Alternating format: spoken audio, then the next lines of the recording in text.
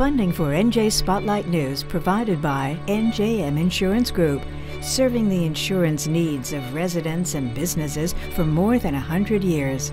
And Horizon Blue Cross Blue Shield of New Jersey, an independent licensee of the Blue Cross and Blue Shield Association.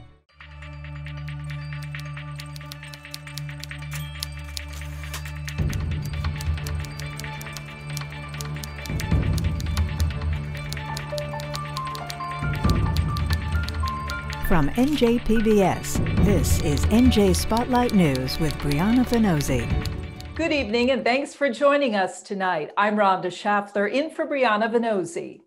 First Lady Jill Biden makes her first official visit to New Jersey to promote the latest COVID relief package known as the American Rescue Plan, touring an elementary school in Burlington County and telling teachers there the nation is beginning to see the light at the end of the tunnel. This on a day when thousands of additional residents became eligible to receive their COVID 19 vaccines, including teachers and school staff. The state reporting it has now exceeded 3 million total vaccines given, and more than 1 million people have gotten either their second dose or J&J's one-shot vaccine, meaning about 12% of the state's population is now fully vaccinated.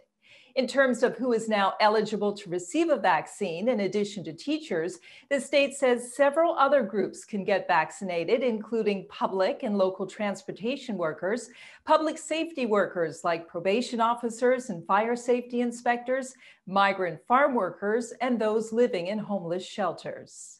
In several of New Jersey's cities today, there was a big push to get educators vaccinated. Many communities want to get children back into the classrooms, especially as we approach Thursday's one year anniversary of the state order to shut down our schools. So, as senior correspondent Brenda Flanagan reports, in both Jersey City and Paterson, they set up vaccine sites in the schools. As long as I get my two vaccines in, I'll be fine. I'll be fine. I'm not worried. And so this high school English teacher lined up with colleagues in Jersey City to get a COVID vaccination. School staff across New Jersey today joined the state's list of those eligible for the vaccine, and Jersey City's dedicating all 5,000 doses of its available Moderna vaccine to educators and staff all this week in an effort to reopen classrooms for in-person learning. There's a, a connection to my students that you can't get online. And um, I would like to get things back to so called normal. I already had COVID, but I still want to be protected and I don't want to uh, you know, I don't want to transmit it to anyone else because it was horrible when I did have it. From you know the city standpoint, we wanted to make sure that there's no reason or excuse that we can't go back to in-person learning. Mayor Steve Fulop says about 1,500 school staffers have signed up for shots here. That's out of some 4,700. The district's 30,000 students have been remote learning for almost a year, and April 22nd is the target date set by Jersey City Superintendent to reopen for face-to-face instruction. Teachers have said that they don't feel comfortable without the vaccine. So we've allocated 100% of our doses this week to teachers to make sure that there is no reason on April 22nd that we can't open the schools for in-person learning. We should have the demand outweighing supply. And, uh, you know, we don't see that yet. Teacher unions in major urban districts are divided over whether every teacher needs to be vaccinated before schools can reopen for in person learning. Vaccine hesitancy is a major issue. Everyone has their, their own opinion of it, and, and you know, how. Um, some people just still don't think that it's real. I have a phobia about needles, so I would prefer the one shot instead of the two shot. And so you're not going to take a Moderna? If I had to, I would. But community center aide Ernestine Gordon's going to hold out for the one-shot J&J. She's on a waiting list. Meanwhile, Paterson obtained 650 vaccine appointment slots for its teachers. Only 1,500 of some 3,900 staffers have signed up so far, and the district will get vaccine for whoever wants it. They've been giving this opportunity to us, to the teachers, to the assistants, to everyone I think we should take it. Teachers are coming from you know other state, other um, towns, you know, into our our city, and so I do believe it's important for teachers to get vaccinated. It's important that everyone that's going to enter our school building uh, has an opportunity if they would like to get uh, vaccinated. We're also going to have air purifiers in every single room in our buildings. Paterson will decide April 14th when to reopen. They're keeping an eye on the rate of transmission and community spread with a target date of May 3rd to reopen for in person learning. In Newark, the union's not insisting every one of its 4,000 teachers get vaccinated as officials launch a district staff vaccination drive tomorrow, but they're strongly urging members. All the more important that if you're in a closed classroom, that you be vaccinated, at the very least tested regularly, which is what we're asking the parents and the community to do. Union leaders voiced continuing concern over community spread. COVID infection rates soared in Newark last fall. Now the district must determine how it can safely move students back into classrooms and hit its tentative April 12th reopening target as schools statewide struggle to vaccinate and reopen. I'm Brenda Flanagan, NJ Spotlight News. Governor Murphy says federal support for the state's vaccination effort will quicken the pace of inoculations.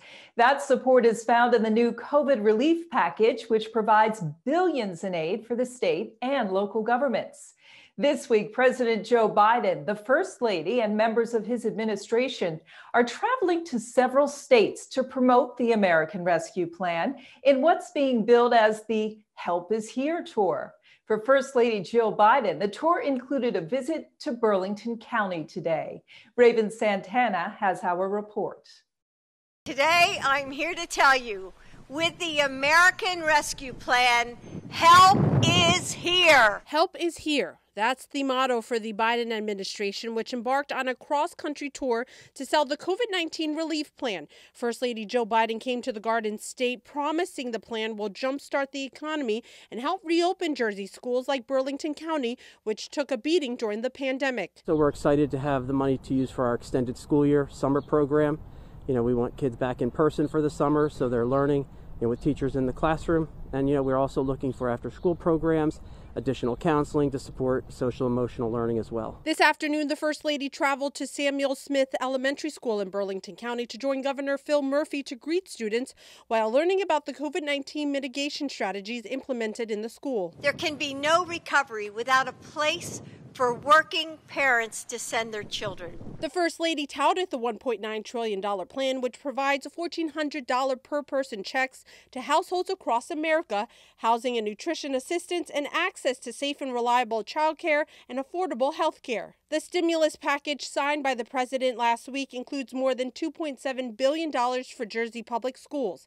Of that, $138 million is earmarked for programs to address learning loss, $28 million for summer enrichment, $28 million is for after school programs, and more than $73 million is targeted to non public schools in the state. New Jersey schools have, you know, are doing pretty well out of this, but they've had some tough times with state aid over the last couple of years, at least some districts have, and this eases a lot of that pain for sure. You know, there, there's certainly going to be some tutoring there's a fair amount, I'm sure, going to be going to mental health programs.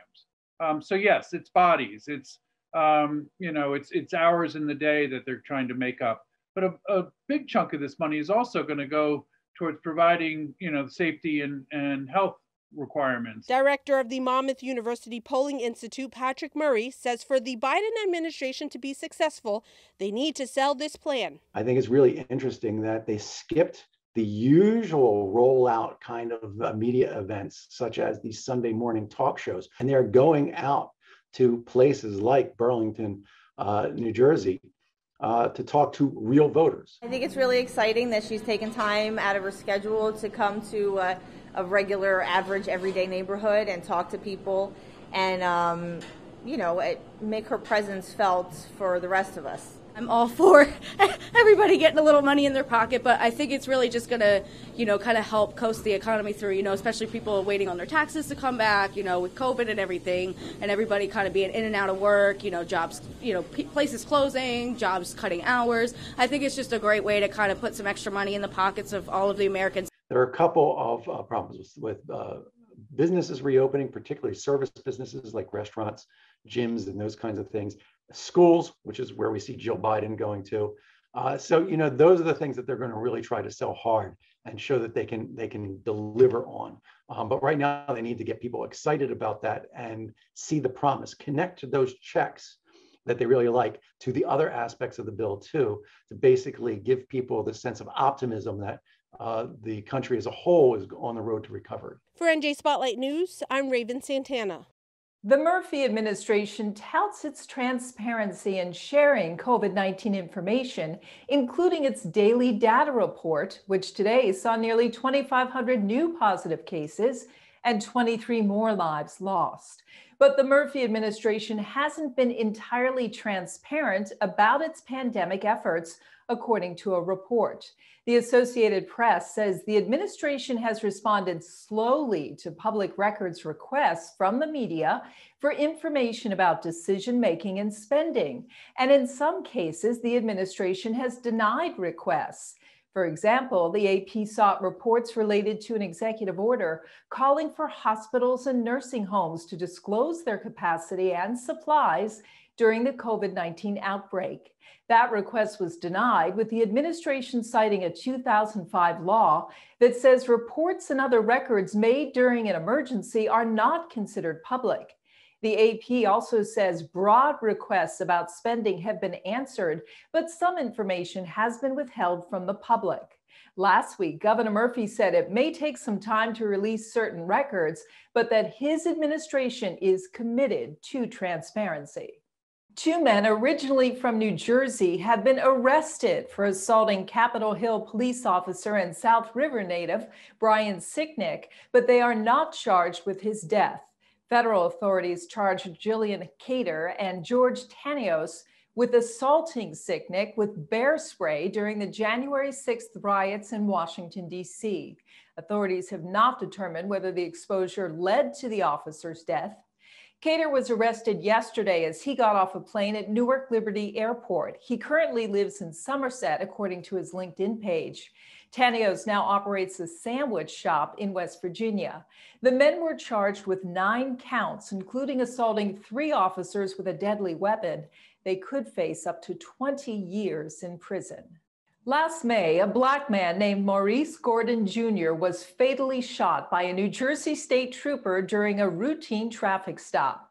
Gordon's family is now suing the state, alleging race was a factor in his death, which came two days before George Floyd was killed in Minneapolis, setting off nationwide demonstrations over police brutality.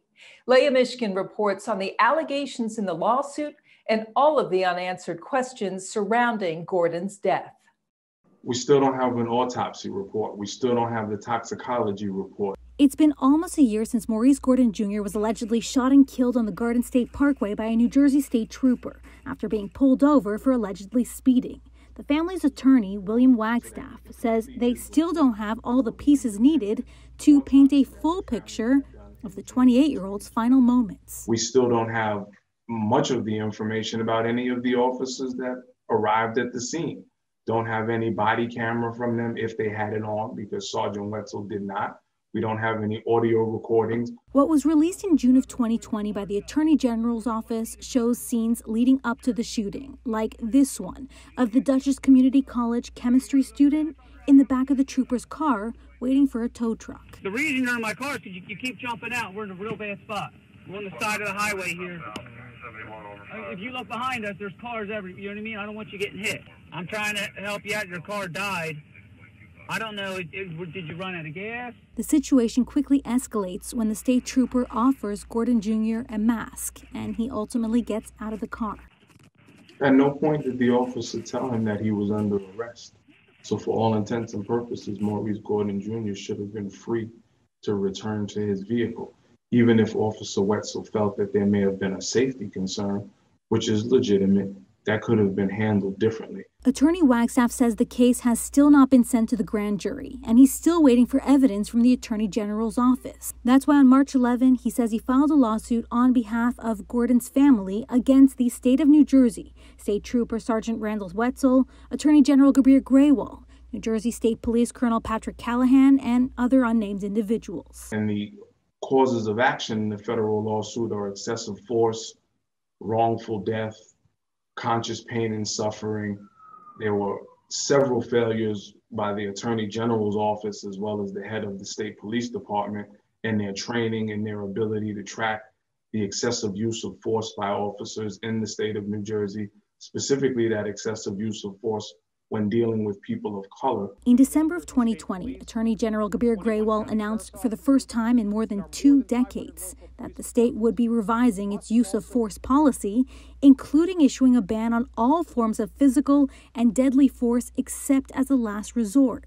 The new policy also required all 38,000 officers in New Jersey to complete a two day de escalation training by end of 2021 and for any use of force to be logged within 24 hours on a new statewide portal monitored by supervisory officers. I do think that's a step in the right direction. Dr. Jason Williams is an assistant professor of justice studies at Montclair State University. I'm someone who actually does research on this. So I have gone to Ferguson, I've gone to Baltimore following Mike Brown and Freddie Gray. The only way, really, to remedy some of these behaviors is through consequences on the job. We reached out to New Jersey State Police, but they said they do not comment on pending litigation. The Attorney General's office says the criminal case is pending presentation to the grand jury because at present, due to the COVID 19 pandemic, regular grand juries are not sitting and hearing cases. William Wagstaff wants an independent prosecutor to be appointed now that he has named the state attorney general in a civil case. I'm Leah Mishkin NJ Spotlight News. Governor Murphy has tapped attorney Rachel Weiner Apter to be the next Associate Justice on the state Supreme Court. Weiner Apter currently serves as director of the New Jersey Division of Civil Rights. She previously worked as a staff attorney for the ACLU and started her career as a clerk for the late Justice Ruth Bader Ginsburg. Murphy's announcement comes on what would have been Ginsburg's 88th birthday in a Rutgers Hall that bears her name. Murphy's pick would fill the seat of Justice Jaynee LaVecchia, who announced last week that she would retire at the end of August. Weiner Apter is Murphy's second pick to the state Supreme Court in less than a year. His first selection was Fabiana Pierre Louis, who became the state's first Black female justice when she was sworn in last September. Both women are 40 and could serve up to three decades on the court. New Jersey officially became the 13th state to legalize recreational marijuana on February 22nd, following a tense round of negotiations over penalties for underage use, among other things. But now that pot is legal, it doesn't mean the negotiations are over. Senior correspondent David Cruz takes a look at the next round of cleanup bills. You have to resign yourself to the fact that New Jersey's cannabis industry is a work in progress. When New Jersey voted to legalize cannabis, a lot of people thought they'd be seeing dispensaries and consumption lounges and delivery services by summertime. But the reality appears to be that cannabis demand will exceed legal cannabis supply for most of this year. And it really didn't have to be that way, says a leading Republican whose opposition to legalization was more muted than his caucus. It's a mess. It's a mess at every single step. Uh, and by the way, had they included Republicans, none of this would have been a problem. Uh, you would you would not have gone too far in the cleanup bill. The tax structure would have been reasonable. We have on the table, had on the table, uh, perfectly workable solutions for these things. Yet uh, the Democrats decided to move forward without us. Okay, so now that we know who to blame, what needs fixing in order for this industry to get going? The good news is that technically the Cannabis Regulatory Commission which is going to make all the rules, is free to start doing that, although no timelines have been set for anything. Meanwhile, there are legislative fixes on the way, cleanup bills, if you will. The first one proposes to fix how police interact with parents when they find their kids smoking weed or drinking in public. The law signed by Murphy prohibits parental notification until there's a second interaction. That had Republicans calling out Democrats for what they said was legalizing cannabis for kids. Senator Vin Gopal is a sponsor of the cleanup bill on parental notification. To not allow a parent or guardian to know what their 15 or 16 year old is doing is pretty uh, insane to me. So, uh, as soon as, uh, and, and I'm, I'm, I'm mad at myself, and I think other legislators should be mad at themselves that they didn't drill down on this. I'll be honest, I didn't. I missed it. Um, the second I learned what it was after, I was like, this has got to change ASAP. The new bill would allow for parental notification immediately. Governor Murphy was asked about the fix recently and gave the kind of guarded endorsement he generally gives to bills that might have enough votes to pass. We'll see where that goes. Um, it's not on my desk. In fact, it's not even through the, the chambers yet, but it's got a ways to go. But as a conceptual matter, I'll put it that way. Uh, I, su- I support that direction. I don't think this is going to be the only cleanup bill. I think there's going to be others. Yeah, there are, including a fix to how employers treat testing their employees for marijuana use. Senator Paul Sarlo is working on that one, and another bill which the Senate President and legal cannabis OG Nick Scutari are just getting started on addresses the sticky homegrown situation.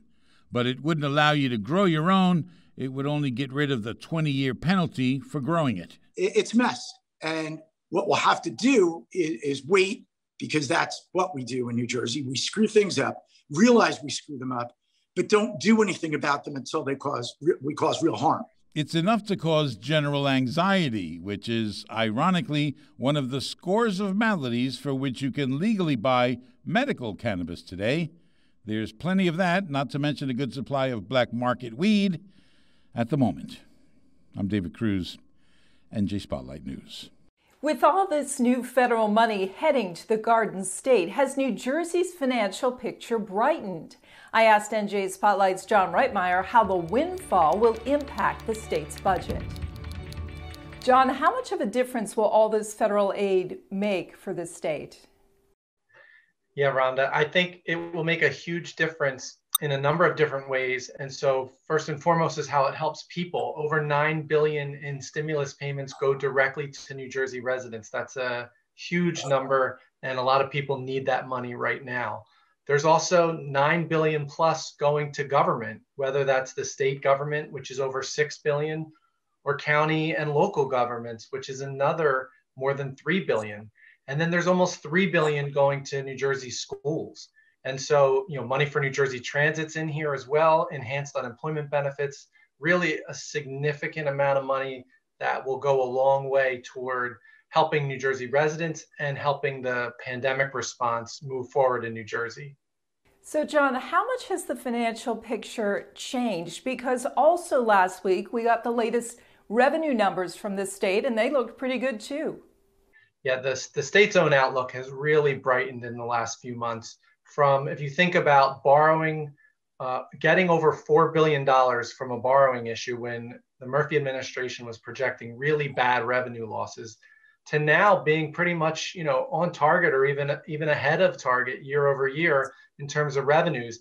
And then you're talking about another six billion dollars coming in from the federal government to help the stimulate the pandemic response. And so you know the state's fortunes have changed dramatically now so, John, how will this change the tone and the discussion around budget hearings that are ongoing?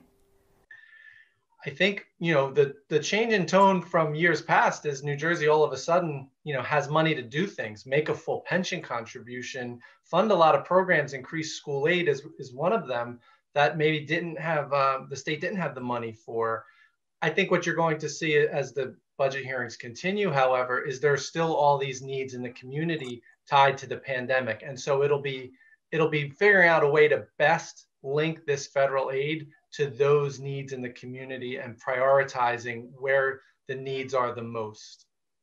Do we have a sense yet of the appetite among lawmakers to make uh, significant tweaks in the budget proposal?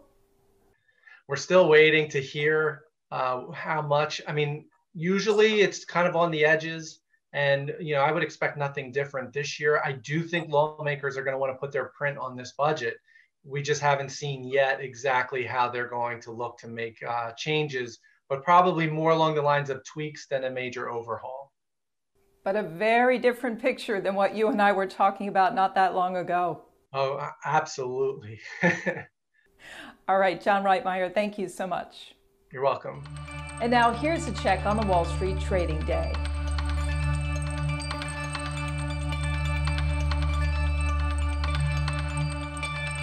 Support for the business report provided by IBEW Local 102, proudly serving New Jersey's business community since 1900. Local 102, lighting the path, leading the way.